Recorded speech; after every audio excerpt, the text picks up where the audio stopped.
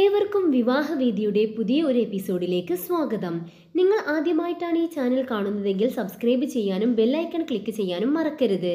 കൂടാതെ നിങ്ങളുടെ പ്രിയപ്പെട്ടവർക്ക് ഈ ചാനൽ ഷെയർ ചെയ്യുകയും ചെയ്യുക. ഇന്ന് നമ്മളിവിടെ പരിചയപ്പെടുത്തുന്നത് ഒരു ക്രിസ്ത്യൻ യുവതിയുടെ പ്രപ്പോസലാണ് പേര് നീതു എന്നാണ്.